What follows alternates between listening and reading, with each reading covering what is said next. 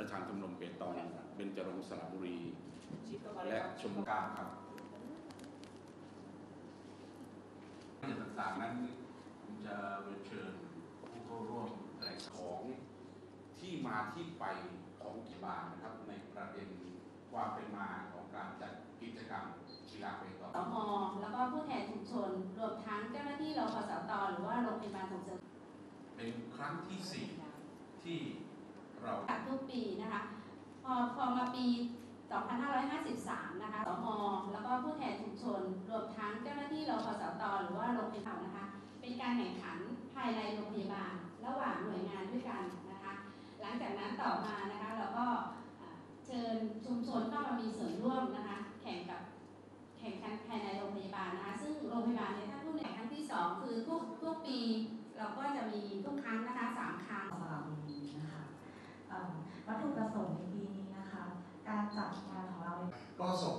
หน่วยงานต่างๆนะครับเช่นเอ่อกรมชลประทานนะครับหรือพอดีในเวลาเวลานั้นนะครับสมเด็จย่าของเรานะครับ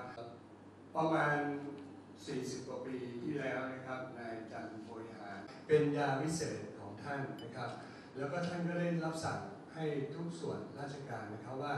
ให้สนับทุกปีเราจะมีชาวต่างประเทศมาร่วมแข่งขันด้วย ส่วนในรายละเอียด ส่งไปเข้าร่วมการแข่งขันนะครับ ก็ปรากฏว่าเกิดเหตุการณ์ที่เอ่อตะลึงกันไปหมดทั้งงานนะครับ แล้วก็เอ่อท่านขอเข้าไปลงไปเล่นอยู่ในทีมของเอ่อ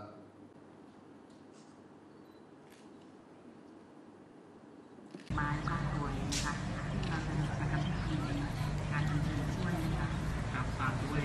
อ่าตรงคือทีมเรื่องต่างๆนะครับแล้วก็ทุกท่านทุกท่านนะคะทุกอ่า สหวิชาชีพเลยทีเดียวนะคะ แล้วก็มีจิตอาสานะคะ แล้วก็คณะกรรม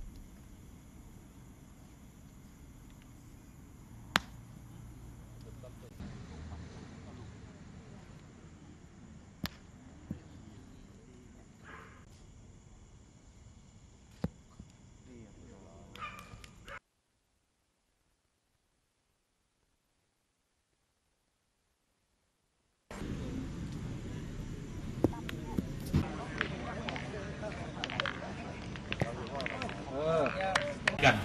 ลูกเปตองก็จะสลับกันเอาตอนนี้จับสลับนะครับในช่วงนี้ แต่ถ้วยของพระบาทสมเด็จพระเจ้าอยู่หัวมีโรงพยาบาลเสาให้เฉลิมพระเกียรติเท่านั้นนะครับ ในปัจจุบันท่านไปสืบไปใส่หออัครศิลปินนะครับ เป็นสนามเปตองหน้าพระราชานุสาวรีย์สมเด็จพระศรีนครินทราด้วยซ้ำไปนะครับ ก็ต้องขออภัยที่ไม่ได้พบปะกับพี่น้องชาวเปตองนะครับ แต่ถ้าเป็นของกิจกรรมโรงพยาบาลเสาให้เฉลิมพระเกียรติ นะครับ กับการแข่งขันเปตอง